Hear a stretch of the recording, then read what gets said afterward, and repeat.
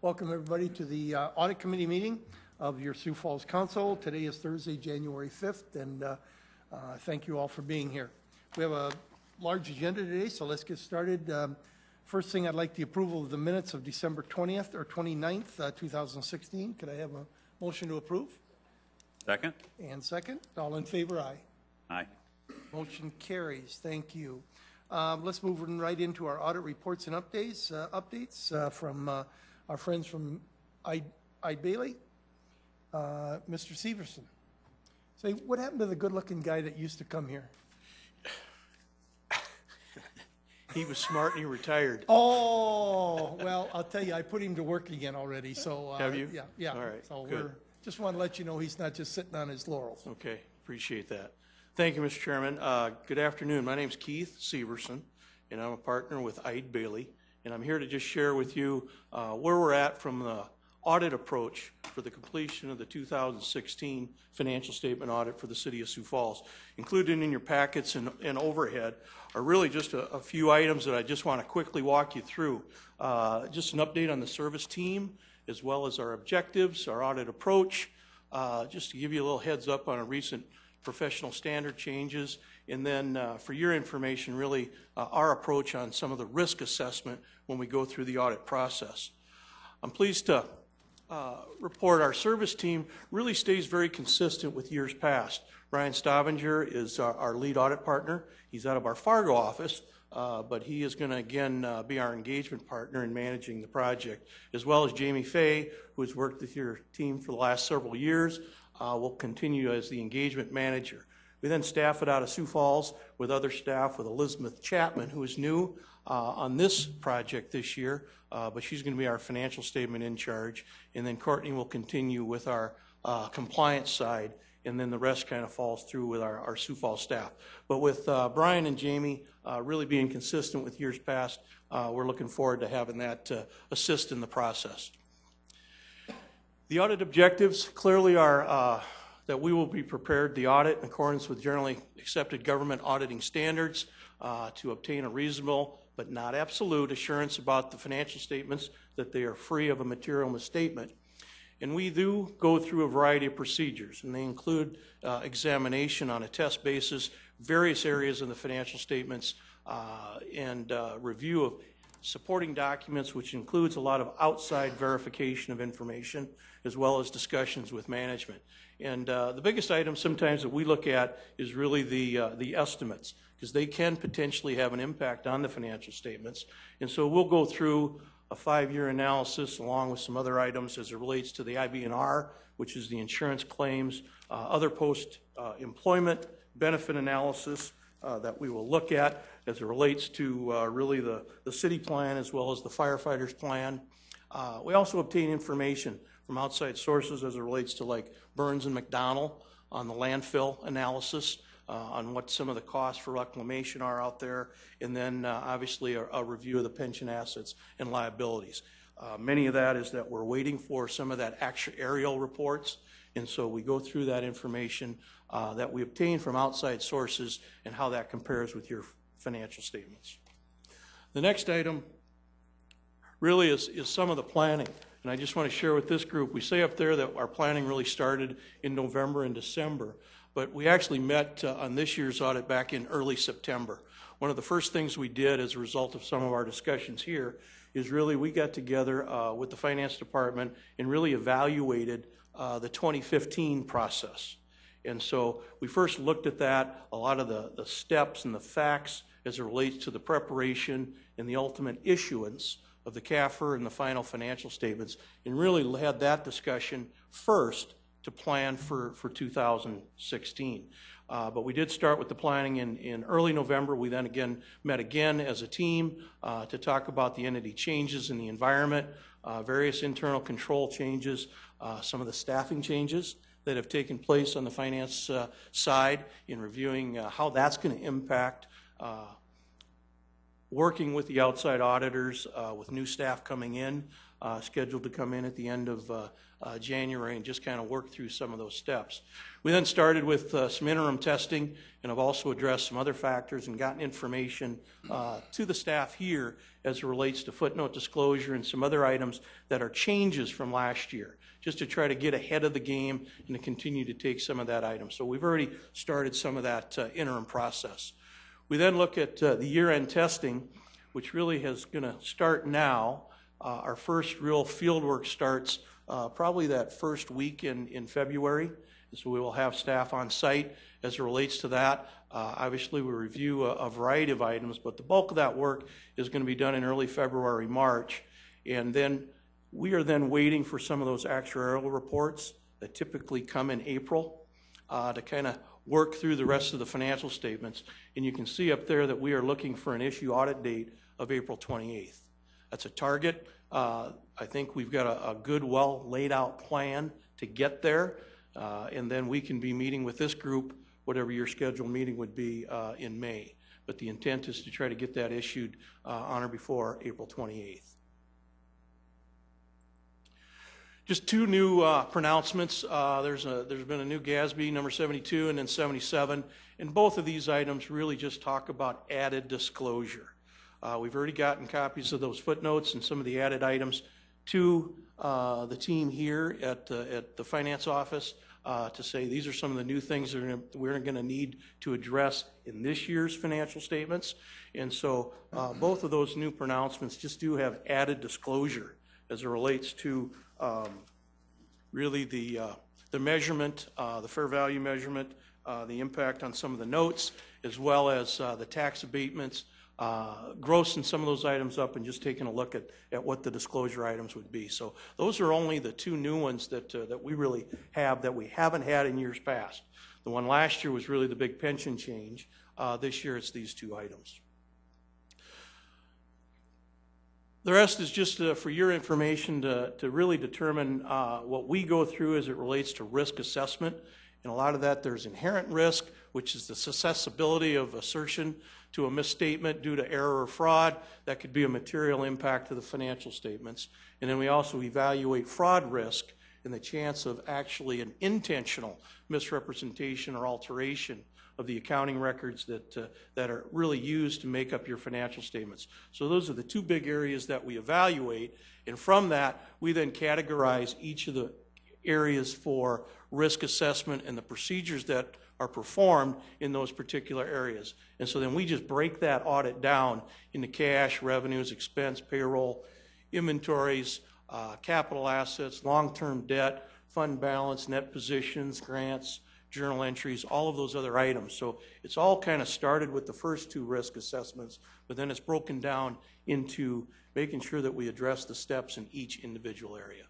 So just wanted to share that with you and uh, walk through the real step of really that planning and what we've kind of done before to get us here where we are today, to get people started on the, on the field work uh, the first week in, in February, and then uh, shoot for an issuance date uh, of on or about April 28th. Okay? Any questions for Keith at this point? I know last year there was a little holdup with a couple of areas. Um, I would appreciate if you'd make the committee know, uh, let us know about those, and same with the finance department, if we can help in any way getting those in, be happy to do so. We will do that, and uh, I think that's what we addressed, Rex, in, uh, in that September meeting. Uh, We've already reached out to uh, the auditors for the Housing Authority uh, in uh, Brady Martz to get that information at at an earlier date, and so uh, we will keep you informed of the progress as we proceed, well in advance of April 28th. There you. So uh, we're going to keep you uh, in tune, and I will give you updates uh, as it relates to that. Super. Okay. Super. Thank you Anything very else? much, Keith. All right? Have a good day. Thank you. We'll Appreciate it. look forward to working with you. You bet.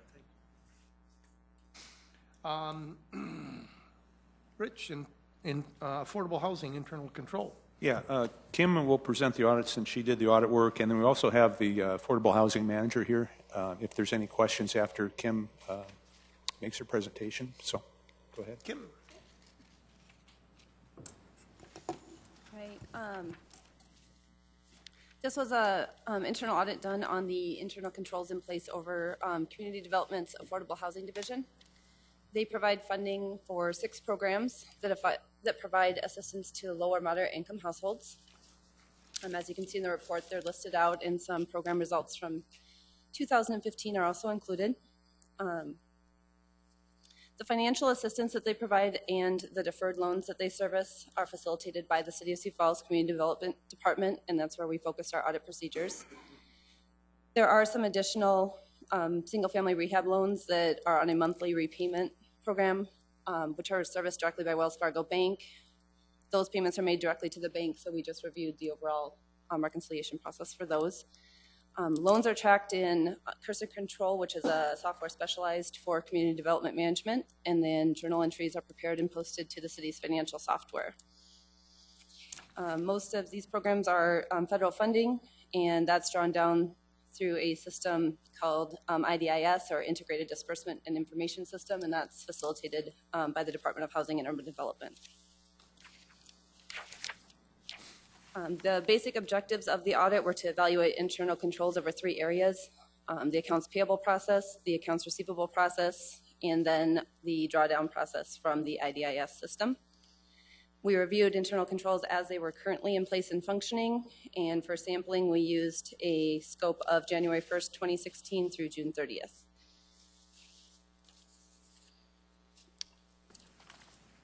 Um, We did, for accounts payable, test a sample of expenditures that would have been representative of that population um, of individual checks that were written during our audit period. What we found is that each check, each check was properly supported, um, contained proper signatures, and was made payable to both the client and the contractor or the title company. We noted proper segregation of duties and management approval in line with what we consider current leading practices.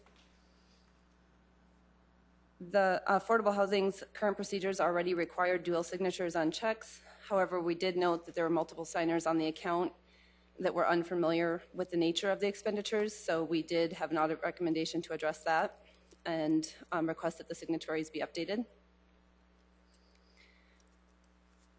A review of accounts receivable um, included reviewing income received directly by, by affordable housing. Um, We noted proper segregation of duties in place again, um, management approval where it needed to be, and it's consistent with leading current practices. The bank reconciliations are being prepared by the finance department, um, which is another good control. And we noted that um, all transactions we reviewed that were entered into cursor, cursor control also matched what was recorded in Munis and then subsequently drawn down through IDIS. Um, In regards to the drawdowns, um, we reviewed two months, noting proper segregation was present in that process as well-. Um, The same person that logs in to request the drawdown can't approve it, so HUD requires that type of segregation. And um, additionally, over the drawdown process, they are subject to external audits not only by Eide Bailey, but also by um, the Department of Housing and Urban Development. So we reviewed those audits and noted no findings specific to inter- internal controls, very few findings that were cleared up, and um, processes were changed to avoid those going forward. So everything looked good there. Um, We did make the following recommendations. Um, Management did a great job documenting their current procedures in February of 2016. Um, Those were the procedures that we tested over these three areas. The suggestions we're making um, were not based on anything necessarily we found, we were just trying to improve the process. Um, The current procedures did include employee names versus job titles, so we thought they should update that. And then also kind of beef them up to include um, a prohibition against writing checks to cash, against writing checks in advance, and then a requirement to periodically update those signatures that we talked about. Um, Recommendation two, um, address the signatures that were on file. Um, We suggested to change the signers on the account. Um, The signature for the manual checks will now be the Director of Community Development, which it was. But the second, or sorry, the second signature will be the Director of Community Development, and then the city clerks will be removed as signatories on the accounts. And that's actually already been implemented, and we verified that, so. Um, a huge thanks to Les and his staff for cooperating during the audit, getting us what we need. And if you have any questions, he's here to facilitate, or I can answer what. Any questions on this audit? I have one. Uh, Kim, the, I, I noted earlier you talked about, um, uh, second signature on the checks. Should be somebody who knows what's going on a little bit. Right. Does the parking facility manager, He's Know what's going listed, on? he is listed to be a second signer in the absence of le- our- the community development director, or kind of an emergency Yeah, or situation Darren, if it I- has to get done? I wouldn't foresee that being needed very often. I guess Les could talk to that, but they have, um, you know, their programs and their checks that they make payable, are, time is kind of of the essence, and Les can talk better to that, but you have contractors who are trying to get their subcontractors paid, and, and sometimes they need to Appreciate the, uh, I'm Les Kinstead, I'm the Affordable Housing Manager. I appreciate, you know, the concern that you bring up, it's a good question. Uh, Matt, you know, op- operates out of this building, we operate out of the same suite. He recognizes some of the things that we're doing, we have conversations about that, and I guess in, in a combination of internal control and, like she said, getting the checks out to the contractors on a weekly basis who do work, we felt this was the best alternative. I don't think I could count on one hand uh, the number of times that, or I, I could count on one hand Right. the number of times that we've had Matt involved in signing any of those checks. So I think it's uh, pretty infrequent that you're going to see that happen. We also, uh, starting uh, as soon as Tracy and his folks uh, have a chance to work with us and get this set up, we'll be doing not manual checks anymore, but electronic checks and, and through the city system. So I think that will obviate any problems that you might have in that area. Super. Okay. Thank you, Kim. Thank you. I would, and Les, I would entertain a motion to um, approve this audit to uh, move on to the, um, to the full council for approval. So moved. Okay? Second. And Jason, second? All in favor, aye? Aye. Opposed? Motion carries. Okay, thank you very much. Next one is the uh, internal or adaptive signal control um, with, uh, Me? You. Yeah, I, I did this one, I'll take this one. Um, We considered, this was in the annual audit plan, but we considered it more of an analysis and an audit because we weren't looking at uh, risk and controls or comparing actual performance to some established criteria like on a contract audit. So call it an analysis. Um, It was interesting to work with our, uh, our city traffic engineer who's in the audience here and also the city engineer in case questions come up after my presentation that I can't answer. Uh, have a little information there in the background section on, on page two and page three of, of use of this uh, adaptive signal control technology in other cities and also um, the- our, the first use of it here in Sioux Falls.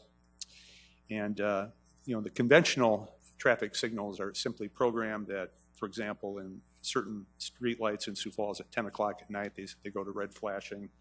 And then at, I don't know, if it's five in the morning, six in the morning, whatever it is, and they go back to the, the, the pre-programmed timing. And uh, with the adaptive signal control technology, it, it's um, much more reactive to the actual conditions. There's a, there's a camera, there's computer hardware, computer software. So the, uh, the, the, the brains of the, the technology can adjust the timing of the signals to accommodate the actual traffic that it's seeing through the camera. And so the, the benefits on page two there, uh, you know, you should see improved traffic flow. You should see faster response to traffic conditions. For example, if there's a train on 26th Street and uh, the traffic can't go east-west, but it can go north-south, it'll, it will know that and adjust the signals accordingly. Um, It should cut costs because uh, uh, commuters shouldn't have as much idling time. They should save a little bit on gas. Kinder to the environment for the same reason there's less uh, idling time of, of vehicles. Now, on the bottom of page two, I, I want to point out, it's not a cure-all for if, if the, if the corridor is simply oversaturated. I mean, it's not a cure-all. Um, people might expect, well, once they get the technology, it'll be green light all the way every time I go down that corridor. That's, that, it's, that, that would be exceeding the, uh, uh, what, what the system can do. But certainly there should be some measurable uh, benefits that we can, that we can notice. Uh, So, so far, it's just the East 26th Street corridor from about uh, um, I believe it's, uh, well, just uh, east of Cliff Avenue where it starts, that first signal, and then all the way to uh, Veterans Highway there, Highway 100. So there's about 10 intersections that have lights, and that's a very heavily traveled corridor. And I think it was picked because um, I, I, I believe he told me that they get a lot of complaints about that corridor. And um, now in 2017, the contracts have been signed with, with Rhythm Engineering. It's a joint project with the city and the state DOT. Uh, Minnesota Avenue from 18th Street to 229 is going to have the technology, and the city will pay for that portion. And then 41st Street from Norton Avenue to Marion Road will have the, uh, the technology, and the state DOT will, will fund that. But it, it's basically one contractor, one contract. Um, the Minnesota equipment should be operational by May of this year. 41st Street should be a month later, in June of 2017. That's the anticipated uh, when, when the, the equipment be operational. So, um, lessons learned, page three, um, had some challenges when they were installing it uh, thr- um, three years ago, January 2014. City crews were used at that time. Um, for Minnesota and 41st Street, they are going to use a a contractor. I think Action Electric will be the contractor. But for the first time, the uh, traffic engineers wanted the, the crews to be very familiar with the nuts and bolts, so they actually did the installation. And there were some challenges with the weather, but they got through those. Another thing uh, that, that um, the traffic engineer will get a, a, a question about if there's an accident, um, uh, a citizen might call and say, can we get video of that accident? Because I know you got cameras on 26th Street, and the, the answer is no, the, the, the images are not stored because it's not necessary for the operation of the technology. And the other thing is it require, that would require a lot of server space, so there's a cost issue there. So no, the video is not stored. Um, So the people, uh, when they ask for video of their accident, we, we can't provide that, so. Um, As far as what we did for, for the analysis, we, we basically looked at what, what our traffic engineer had, had done for looking at the safety, looking at the uh, uh, traffic delays, got down to the, the, the- the nuts and bolts of the data, uh, and also talked to him a lot about the methodology used for the analysis. We, we found the methodology to be sound, um, had a very, very, very few, a couple of minor tweaks on the, on the numbers, but nothing significant. Um, One thing that was surprising, on, on page five there, we, we looked at the travel time, the number of traffic stops, uh, number of delays. Um, Everything showed an improvement after installation, except for that eastbound 4 to 6 p.m., that, that peak period eastbound in, you know, in the afternoon, that kind of the drive time there, um, that, that got worse. And so we're a little perplexed about it. Uh, talking to the traffic engineer, I, I think what happened was the, the, the, the most probable reason is that um, before the, the uh, technology was installed, the, um, the, the, the timing of the lights was heavily skewed to favor eastbound traffic at the expense of, say, Bahnson Avenue or, or Southeastern. So once you put that technology in, it's working as it's supposed to. Uh, you know, it appears to be really worse for the eastbound, but um, so that, that seemed to be the explanation of it. So um, now, the, the, the issue they had was when trying to figure out, uh, you know, get some, get some data on, on travel time and delays and, and so off, so forth, they had to have their, uh, their staff actually drive the route with GPS technology. Um, They didn't have a good way to do it, so uh, somebody, a city employee in a car would have to drive the route, and then it would, the GPS would know exactly when they got to a specific intersection, and, and the technology, the computer uh, program could determine, well, how much of a delay there was, and et cetera, et cetera. So they did that before the installation, they did that after the installation, and we looked at all that raw data. Uh, Now with the, um, they won't have to do that necessarily on 41st and Minnesota when, when that technology is installed this year, because uh, the computer software will, will do that in real time. Analysis will be done uh, continually, so they would not necessarily have to do that, um, you know, because that, that does take a lot of bit of time. That takes quite a bit of time, staff time to do that. So um, it just was a case for 26th Street. They didn't have that uh, technology to, to do that analysis when they had it installed. So uh, now, if we look at the safety, starting at the bottom of page five, uh, we looked at the number of accidents. Uh, They they got the information from the police department. And uh, after, in- since the installation, there was a 21% reduction in crashes. And then we also looked at societal costs. Societal costs are calculated by the National Highway Traffic Safety Administration. Um, Everything from property damage to lost earnings to medical costs, et cetera, et cetera, all the bullet points there in the report. And uh, we came up with um, uh, th- that the societal costs have decreased $891 per day just because of reduced crashes. Uh, Before the installation of the equipment, you had a, uh, you had an accident about, uh, I think, .32, so about every three days you'd have an accident. After the installation, it was about one, about once every four days, about .25. So the number of crashes, and we're usually talking about rear-end collisions typically. And so um, if, if you come up with that number of $891 daily, and we spent $371,000 of taxpayer money, within a little over a year, you've basically recouped that cost because, um, you know, you've had less crashes, and, and uh, so that's, that's very much a plus. So uh, the results so far, you know, preliminary on just one corridor are very promising. Um, we can expect the traffic congestion to improve on 41st and also on Minnesota once the technology is installed. Um, We should have better safety, we should have fewer rear-end collisions, based on what we saw and then also what we've seen in other cities. Uh, And I have that information on page two, what other cities have experienced. So um, the, uh, you know, you know, it isn't like, once, once the installation of the, the equipment isn't, it it won't be necessarily that you can start on 18th in Minnesota and go green light all the way to the interstate necessarily. We don't want to give people the expectation that you can go all the way from, you know, sea to shining sea, so to speak, without hitting a, hitting a light, but it should, it should be improving. Uh, So, um, if you have any questions, uh, we have a traffic engineer here, and uh, otherwise. Any questions? Yes, great, uh. I have a, a handful of questions, I guess, and uh, whether Rich or the traffic engineers can help me. Um, this is very interesting. Uh, so today, I believe when there needs to be a change, I might see Heath out there playing in the box and making a change to the timing. In this case, is it something where you install it and then the computer is smart enough to just make the changes on the fly and then you don't hands off from from forevermore or what what's your role with adaptive signals Um, Heath Hoftiezer is our principal traffic engineer for the city of Sioux Falls. Um, we won't, um, we don't have to interfere nearly as much in the programming of the intersections once the system's in place. It's a, a lot of the variations and things that happen on a happen on a corridor, the system can actually handle itself, is what we're finding on 26th Street. Um, there's still, there's still some programming that's involved with it, still things we have to do with the controller, but it's not near as much. It's, um, a corridor that has the adaptive, um, signal pro, or the adaptive system in it. We don't have to do as much corridor retiming as we do on a, is, um, you know, like the 41st Street and Minnesota Avenue pro- corridors, and that'll be huge for, for us, um, this coming year, once we get Minnesota Avenue and 41st Street corridors, get the systems in place on those, that's gonna free up a lot of time for us for working on Cliff Avenue and East 10th Street and a couple of other corridors that need a lot of work with just raw programming.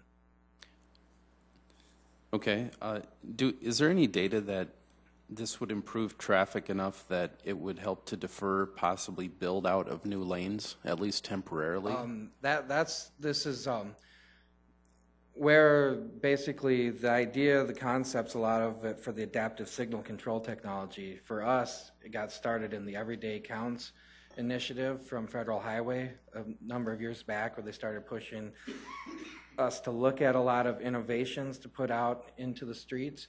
And um, through the everyday counts, it had a lot to do with exactly that, where they were looking at corridors where can we get this out into corridors where maybe you don't need six lanes once you get a system like this in place, or you can hold off improvements for a long time. Um, East 26th Street held, held out as an example, that was a corridor where we were, ha- and we still have some pretty significant capacity issues on the corridor, but having the system in place through the interchange area through Southeastern has really helped us out in our capacity needs to get us to 2019 when we're going to be rebuilding that area. and if if you'll indulge me a few more.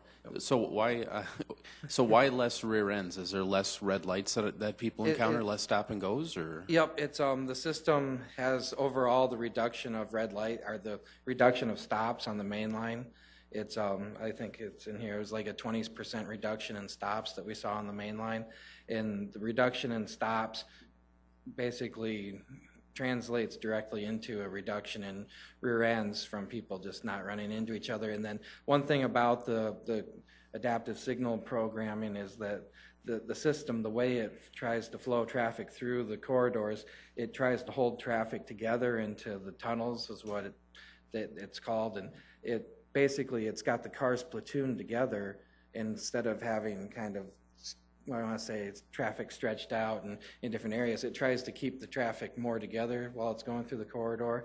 And having the traffic together leads to a steadier flow and then possibly bigger gaps on like the non-signalized intersections for traffic to pull out in between cars, so.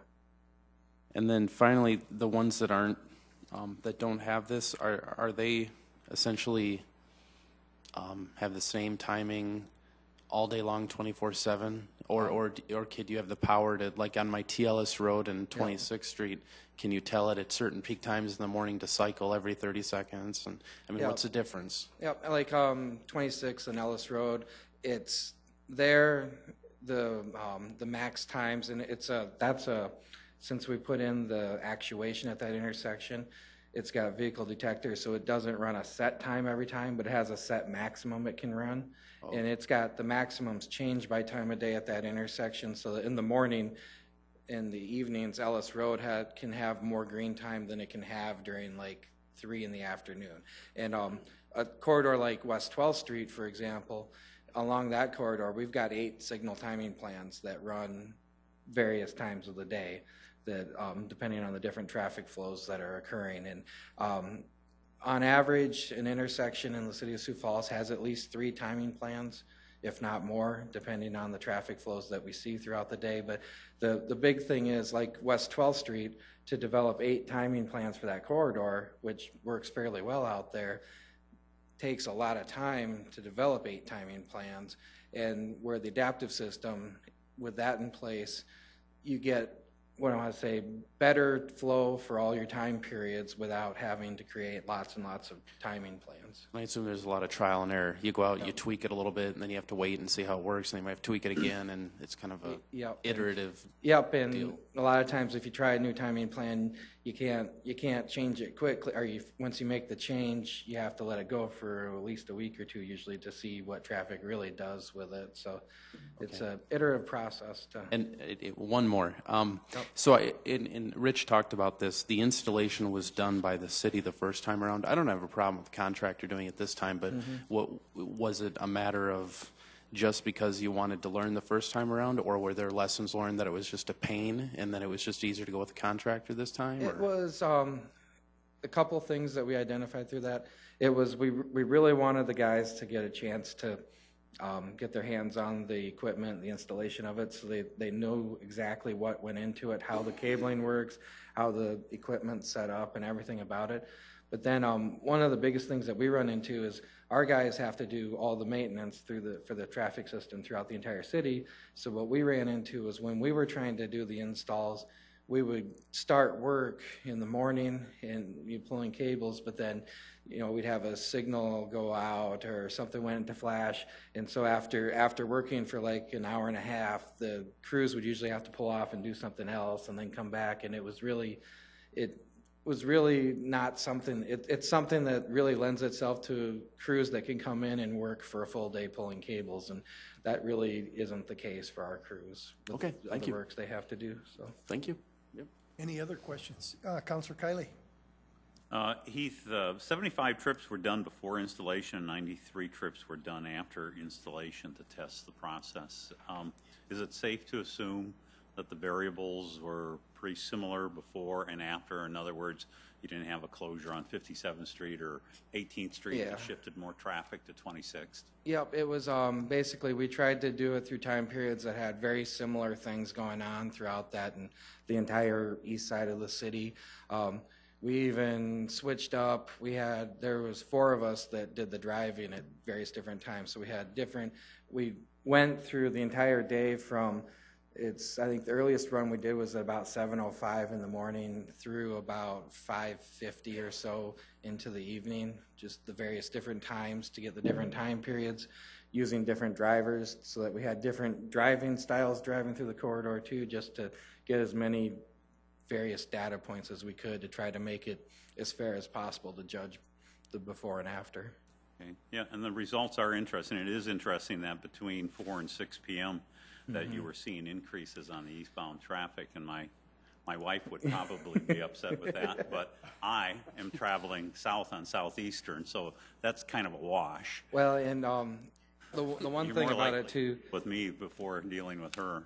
in, in our data, we included all our after runs that we've done in, in this too, and we've done a lot of work on trying to, um, I want to say, fix that up to try to reduce that. And you know, some some of our later runs show maybe closer to it being less of an increase in eastbound um, travel time, but generally overall, what we've seen is the the improvement at Southeastern and at the ramps and at Bahnson for the queues and how then the types of delays that traffic had, it those improved so much that it's I, I think that overall it's a huge benefit even during that time period. So Does the, um, the, the train going through the area, how does that interact with this system?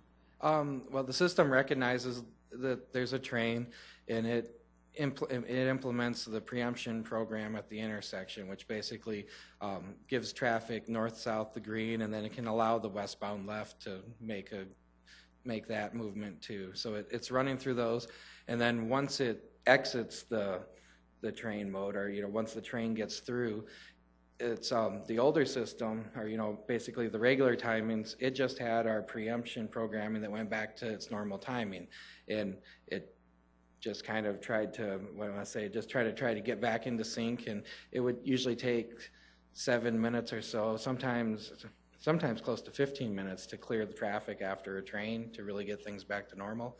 What we're finding with the adaptive system in place is that um, it's keeping track of how many cars are on the approaches and how long they've been waiting. So after a train comes through, it sees like the westbound cars on the east side of Southeastern, and it's it's and it's um, when I say the calculations it's doing, it's looking at those and saying, well, those guys have been waiting six minutes. So it gets them flushed out a lot quicker than it used to with the tr- traditional programming following a train. So I think I experienced that when I was southbound on, or northbound on Southeastern after the train.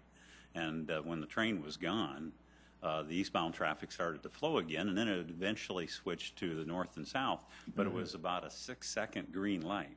yeah, And so I, I was victimized in that situation. But anyway, it, it seemed to be moving that uh, east-westbound traffic quite efficiently.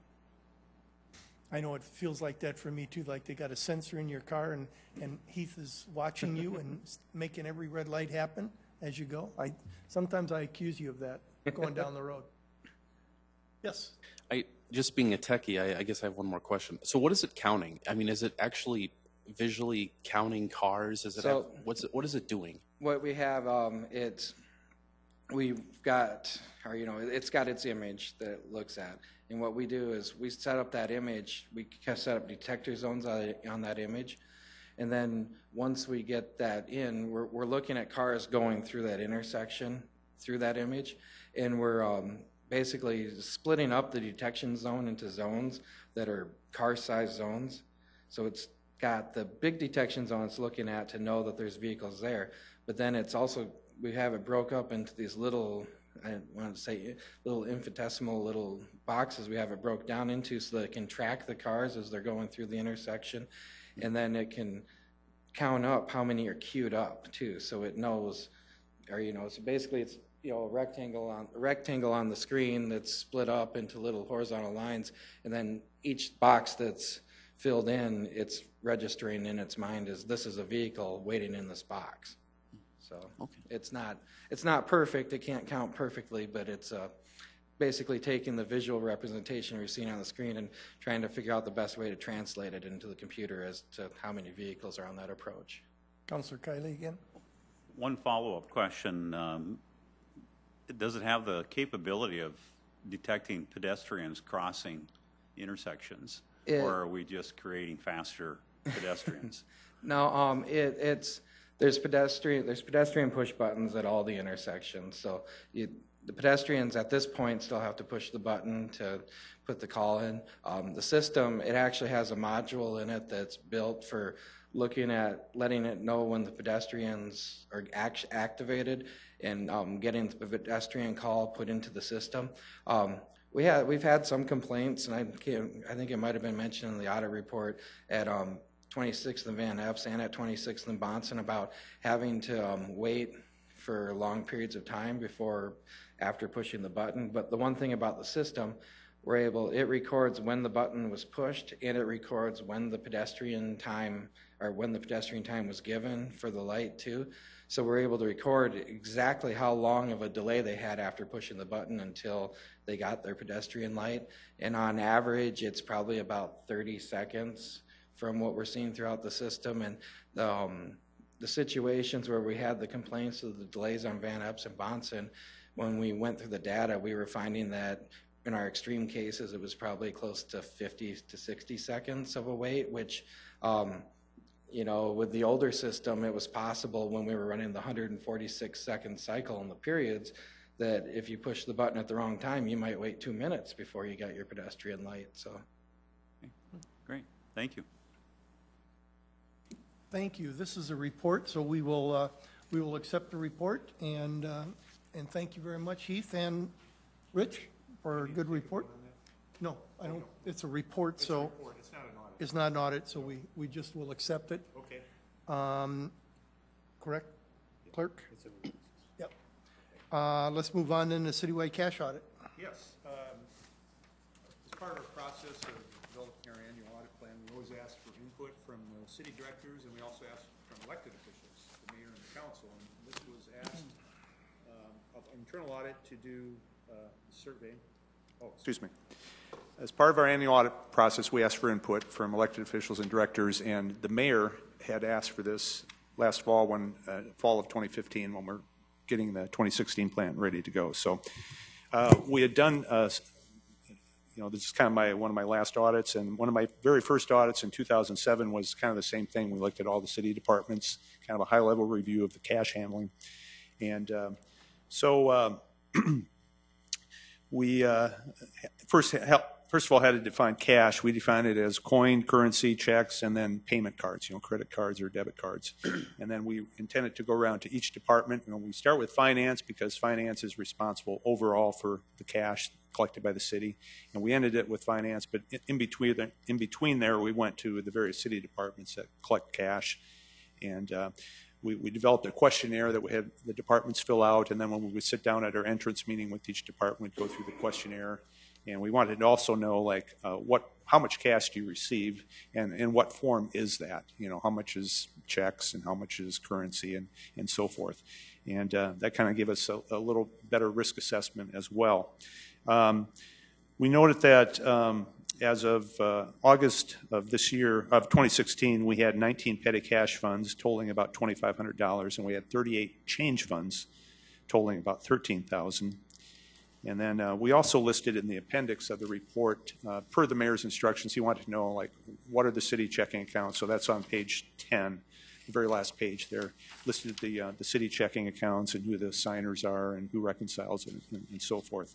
Um, we have uh, some background information about, you know, how cash can be put at risk. Um, I'm not going to go through that unless you have specific questions. And then uh, what are the typical controls you would expect to see, and what are the limitations of, of controls? And then we also, uh, one thing that we did add to this because um, we're, getting more and more payment cards in, instead of currency or checks is, is um, something called the Payment Card Industry Data Security Standard. And that's kind of a hot topic with auditors now. They're looking at their organizations to see that their organization is complying with what, what's called the PCI DSS. And uh, there's information there on page four about that. Um, we did include information in case council member would ask, well, how much do we, how much is the city paying for credit card fees? And the answer is, uh, in 2015, it was about 264,000, and that represents about 2.2% of each transaction. Uh, So there's, there's a cost to accepting payment cards, but on the other hand, you know, you're not going to have a bad check, and they're, they're they're more efficient. People expect to pay with payment cards now, um, so it's part, part of its customer service. So the objectives were on the bottom of page four there. Uh, We want to look at um, the status of audit recommendations from prior cash handling audits over the years, and uh, also determine if the departments had up-to-date written policies and procedures specific to their area. Number three, determine if they had segregation of duties that was adequate to uh, safeguard the asset. That, that's a, a key control, segregation of duties.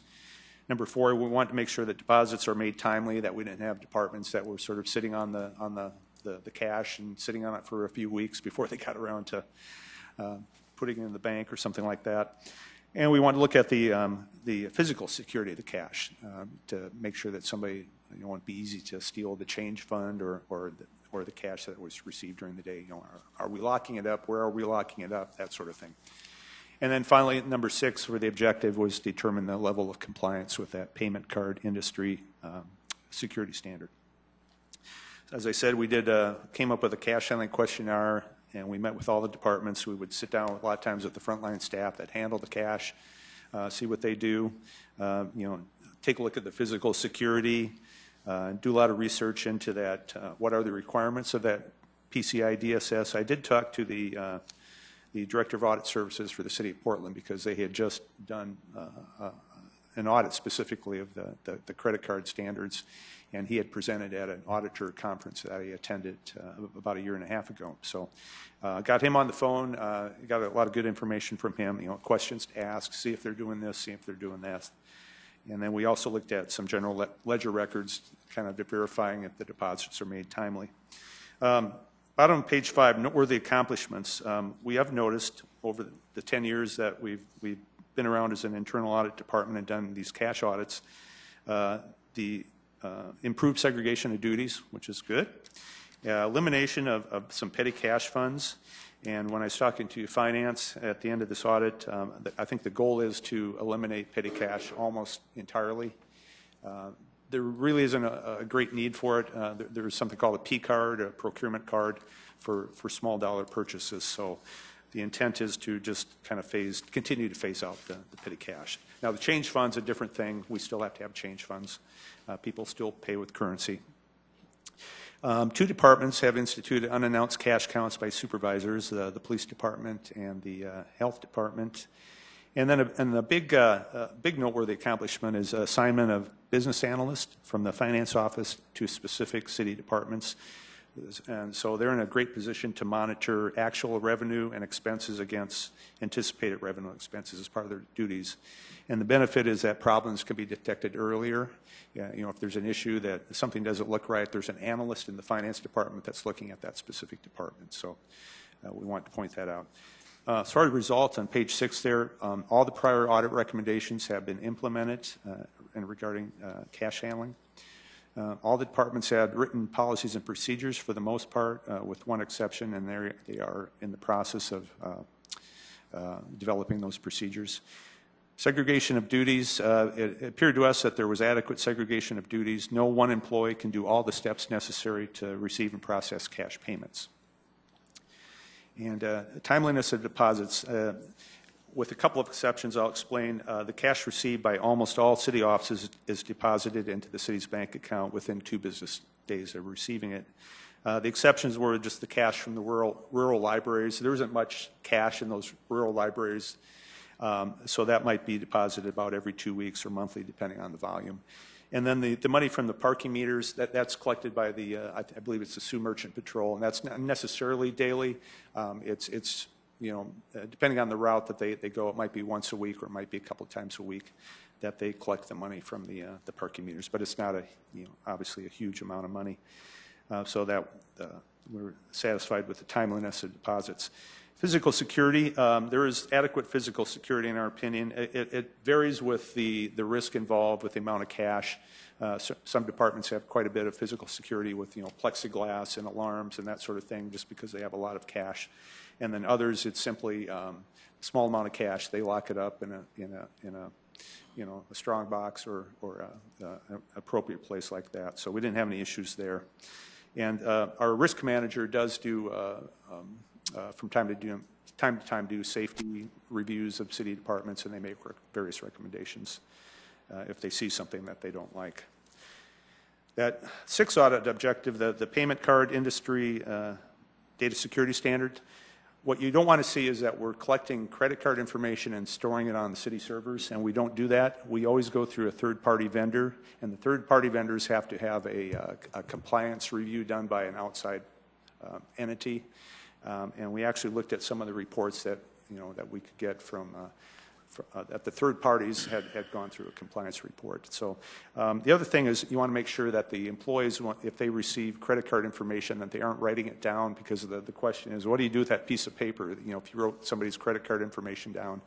Uh, There's just one department that I was aware of that would receive maybe a credit card information occasionally through the mail on like an application, and that employee simply, you know, keys it in, they, they log on to that third-party, uh, you know, software. They're not on the city computer. They enter the information, and then they immediately shred the information. Uh, Occasionally, employees might take it over the phone, um, and then simply are keying it in immediately. They're not writing it down on a piece of paper. And, um, and we don't record the phone calls, because that's another issue. If you're recording phone calls and, and you've got credit card information on the recording, that's a violation too, and we don't, we don't do that. So we didn't see any issues with, um, with that payment card uh, data security standard, so.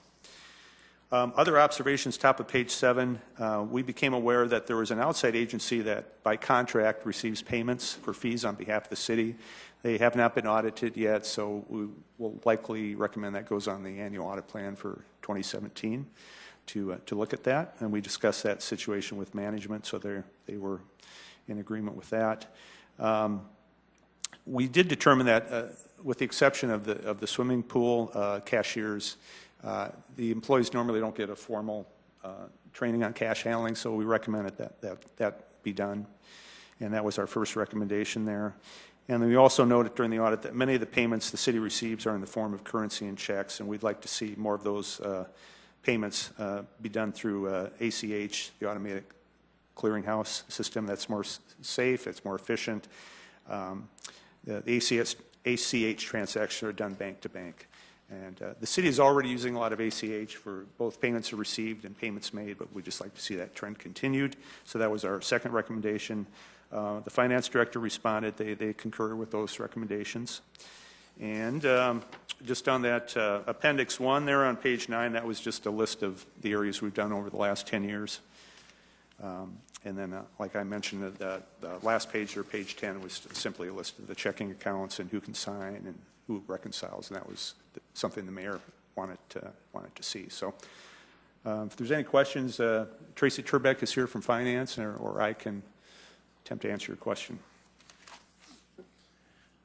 Uh, Mr. Kiley, I looked at one. Um, One question, and- and whether it's Rich or or Tracy, I'll leave it up to you guys. Um, Under the recommendations, it it states that training could be modified for those employees infrequently handling cash compared to employee free- employees frequently uh, handling cash. Is that design, is is the thought there to have more frequent in-service sessions for the individual that's not doing it? Well- Because if you don't use the skill, you lose the skill, or what's the I- I- thought? There, there's a, there's a, a- an occasional department, they, they might get a, a a couple of checks a year, you know, or just a couple of checks a month. They really don't get a lot of currency. Um, it's just so infrequent that, you know, do you really need to give them training on, on the, the kind of training for somebody that's handling cash every single day? Um, we kind of left that up to the management, how they want to approach that, how often they think the training should be held, and if they should modify the training.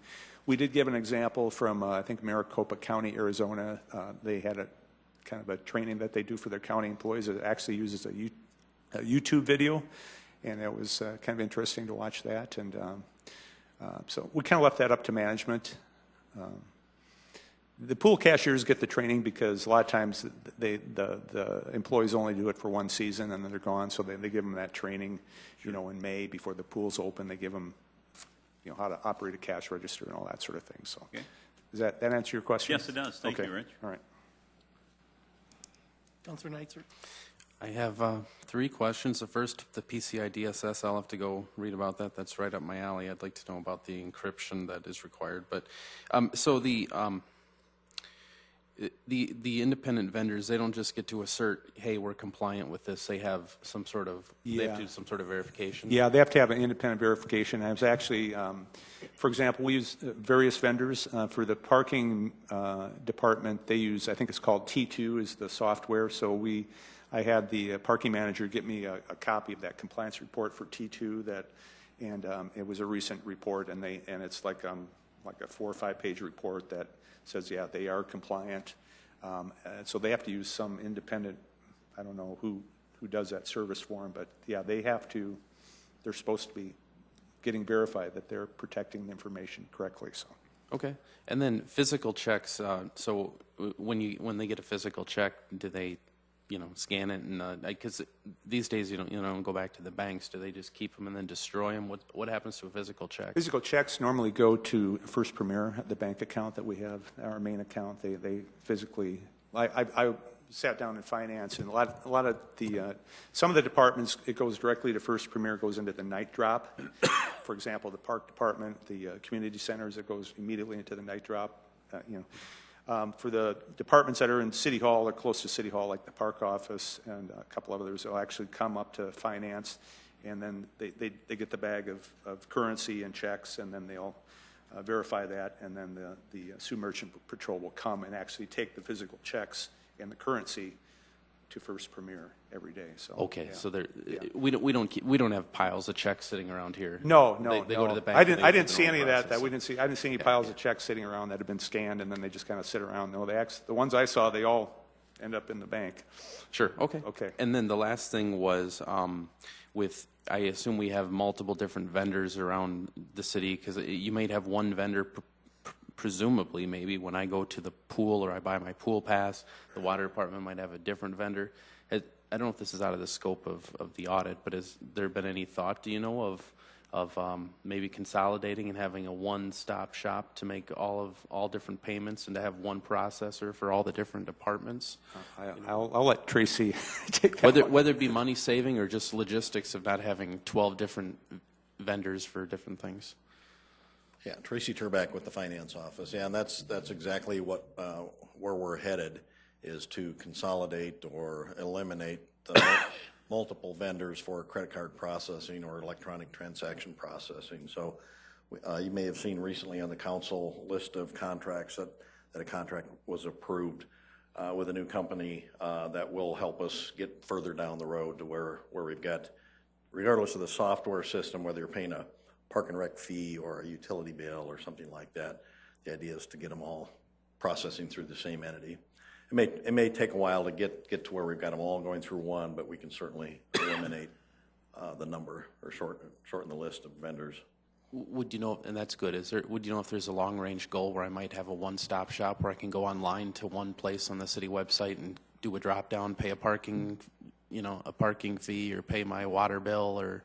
Absolutely, and the, the more we can, can drive customers to pay online, uh, the better. And, and uh, you know, the- the key, of course, uh, Rich mentioned the, the cost of credit card transactions. That is, there is a cost associated with that. So we will continue to push ACH transaction processing because that is uh, least expensive from the city standpoint. Uh, Certainly a very safe process, but yeah, the, that's absolutely a goal to do, do more and more of that where we, we have less manual handling and processing of any of that transaction. Do we, do we charge, you know, like if I pay my car tabs, I got to pay a convenience fee for using a credit card. Does the city charge a convenience fee for credit cards? Mm-hmm. Or should we? To recover that, that percentage, you know? Well, one of the reasons we've avoided doing that is because we do want to encourage people to utilize that as a method of payment versus writing a check. And so, you know, in, in our discussions on it, it's, it's seen as almost punitive uh, to, to charge an additional fee for somebody to use an electronic form of payment uh, rather than incentivizing them to do that. So I think there are some places that do that. Uh, We just recognize it as a cost of doing business to, to process those, that, that the benefits do outweigh the, the cost. Okay, fair enough. Other questions? Uh, Mr. Martin? I just had one, one quick one. On the, on the credit card, the, the third-party vendor, that they, they have to go through their own compliance. Uh, Do we do anything to verify that they have done that? Is that, Well, we talked about with finance, um, I don't think we have a formal process for that. We didn't make it a, a formal recommendation. Uh, we just simply had discussion with it. Um, I don't, I'm not aware that we have somebody tasked to do that every year on a specific vendor. Um, if I'm, if I'm wrong, Tracy will correct me, but um, we, we, we briefly discussed it, but we didn't pursue it any further than that. So I guess the answer is no, I don't think we have anybody assigned to make sure that. But when I did ask for it, uh, certainly when I asked uh, the parking manager, he, he got it within a, a few hours. He could, he found that, and so. Uh, Notice that um, the library deposits made, are made monthly or semi-monthly. Was, is there an increase in overdraft um, or bad checks uh, when you hold them that long?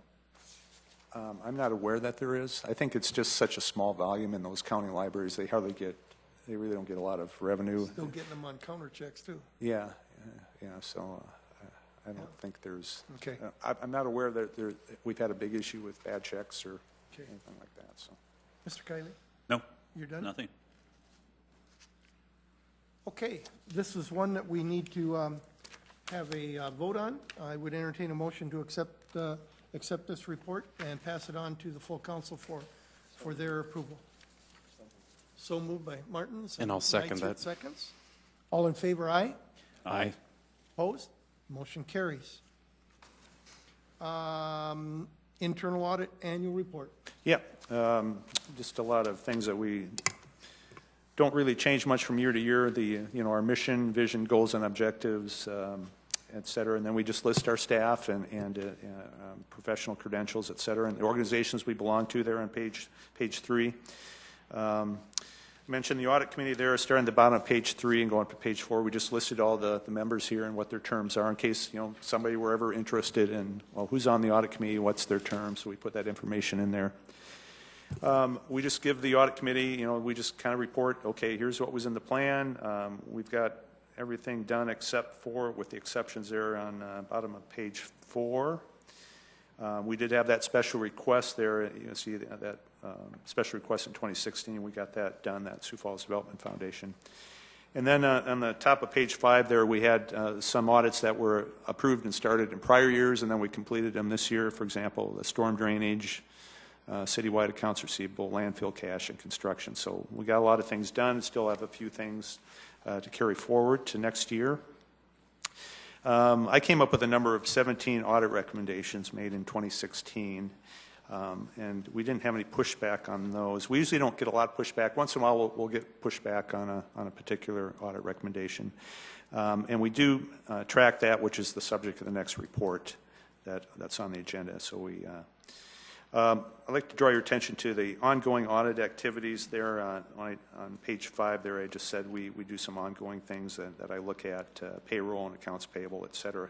So on the very last page there, um, accounts payable, I looked at, uh, with, uh, with the help of uh, our budget analyst, uh, uh, David Bixler, he's, he's very good on the uh, data analytics. We looked at um, looking to see if we had any vendors that we made a duplicate payment. We looked at January through September 2016, um, and we didn't notice any that uh, appeared to be a duplicate. For example, you know, like the same invoice number, the same amount, that sort of thing. Excel is really good at crunching that those numbers, so we didn't notice anything that we had a duplicate payment to a vendor.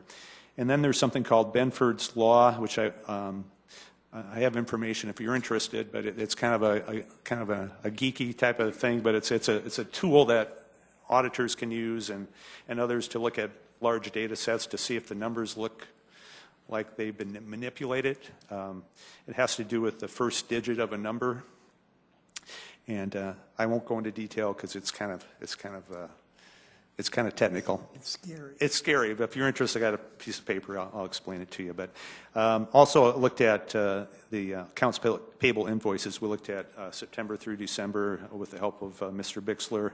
We didn't notice any unusual patterns. We, we found the, the, the, the, the expected pattern is what we were seeing for that first digit. For example, if accounts payable, the, if the number was, uh, you know, five thousand and twenty-five dollars, that five is the first digit, and you should expect to see that five um, in a large data set occur uh, seven point nine percent of the time.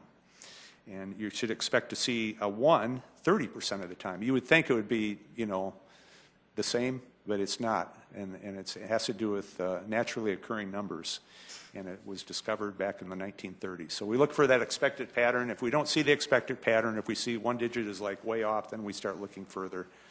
It could be inefficiencies, it could be something strange going on, but we didn't notice anything there. So, uh, as far as payroll, I did four different things. We looked at two or more direct pays going into one bank account. That that's something auditors, uh, when they're looking for to see if somebody has put a ghost on the payroll. A ghost is either a real person who's not an employee and should not be on the payroll, or it could be a fictitious person and, it's used to uh, misappropriate money. Um, now, there's a legitimate situations. We, we have a married couple working for the city. They have the same bank account. You're going to see the two direct deposits going in there. So we ran all the employees um, as of, we looked at the payroll of uh, August 11th. We noted no situations that, that we thought were suspicious. Anything that we saw was explainable as, you know, a married couple working for the city. Um, we did look at, I did run the, uh, the social security numbers uh, for December 2016 for all the active, full-time, and temporary employees.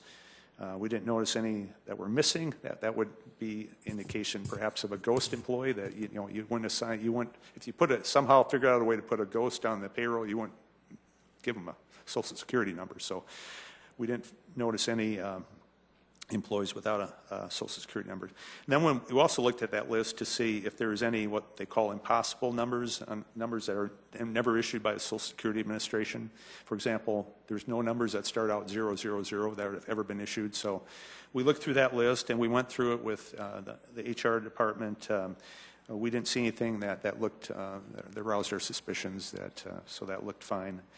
Um, and then we looked at, uh, at the uh, the HR director had, had asked me to look at um, his proper deductions for employees on the South Dakota retirement system.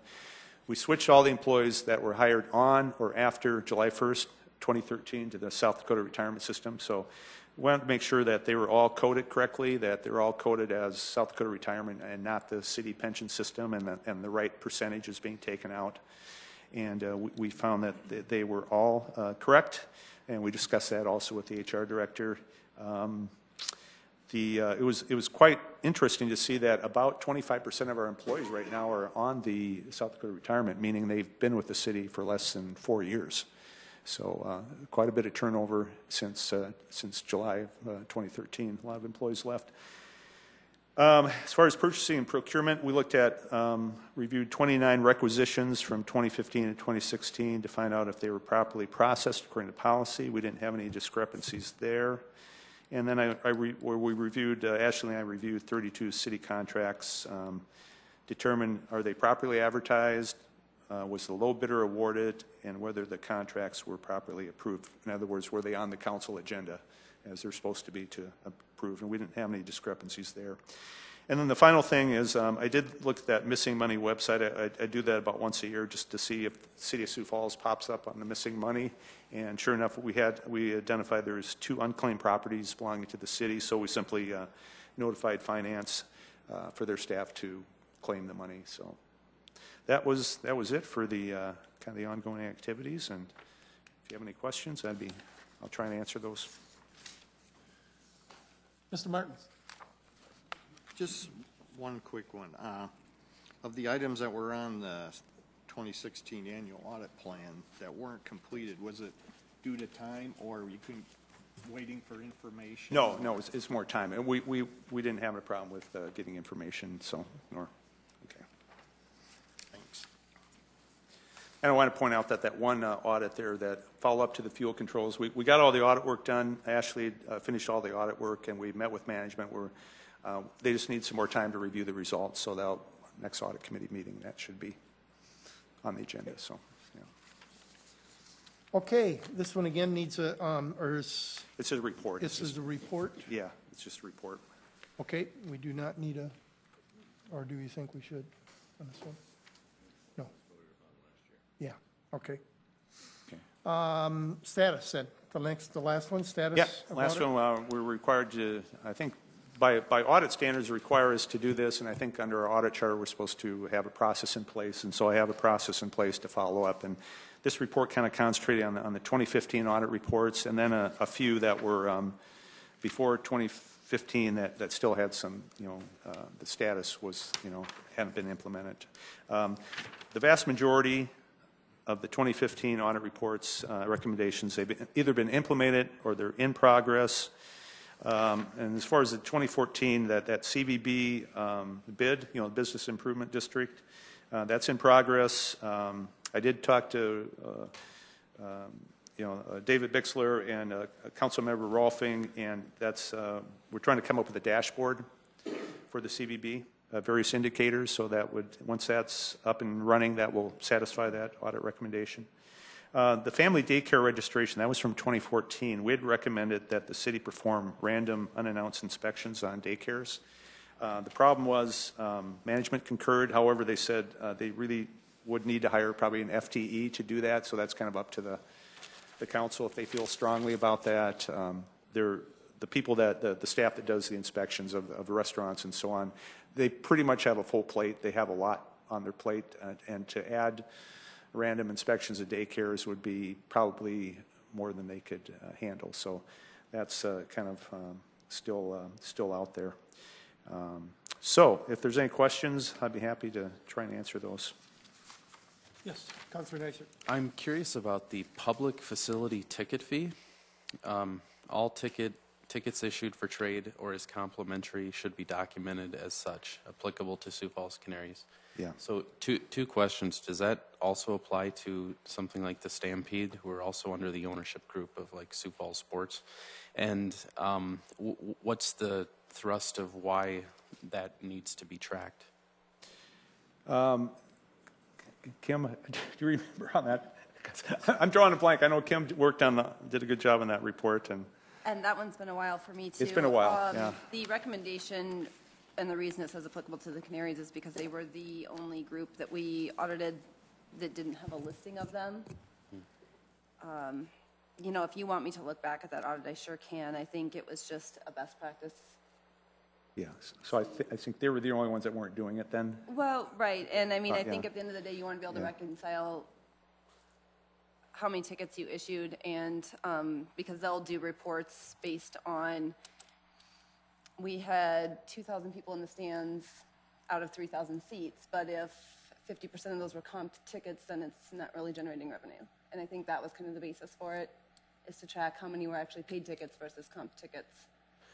Yeah, I, I wondered if it was something In their performance measures, I think, just to. in regards to that, or if, or if the comp tickets didn't have the facility fees, if those aren't recovered, or? And that's part of it too, right. You are right on that, that I don't believe they pay the facility fees on those, so to support our audit when we're trying to justify their numbers, Okay. um, you know, we needed that piece of information to be able to get to a. a Yeah, numbers. I thought maybe that was part of it. it. What's kind of interesting is that I, I, I- I could be wrong, but I, I think that we generally just, you know, rent the facilities out, so I, I'm not sure exactly how it works, but if they're comping tickets like crazy, I don't know whether or not that affects us or if it's more of affecting, affecting them, but I, I don't know. It's, it's something that'd be interesting to know. It doesn't have to know now, but. Okay.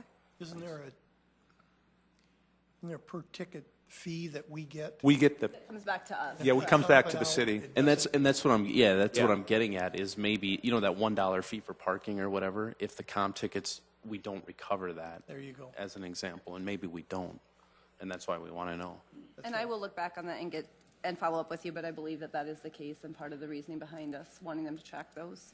okay Super, thank you, Kim.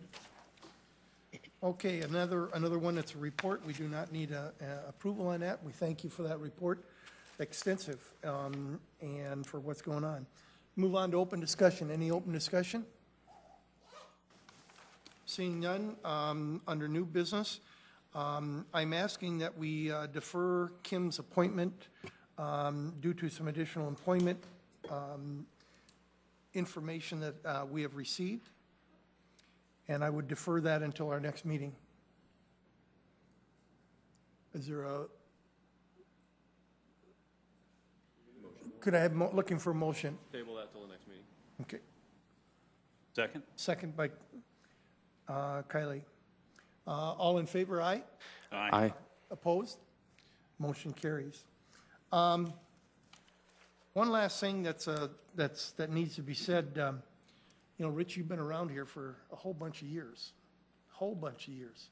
Started this department and has done a great job over the last 10 years of bringing it back, or bringing it into um, uh, the prominence that it, that it needs. And uh, I would ask people to uh, remember Rich as he retires. The 20th of this month is his last day, and there will be a little reception for him here at Carnegie Hall, uh, beginning at what, 1 o'clock? Yes. 1 o'clock, and, and running way into the wee hours of the night uh, someplace, right?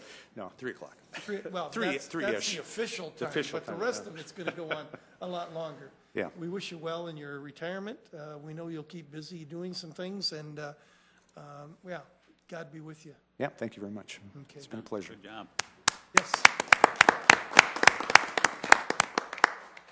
Uh, I will adjourn this meeting. Thank you.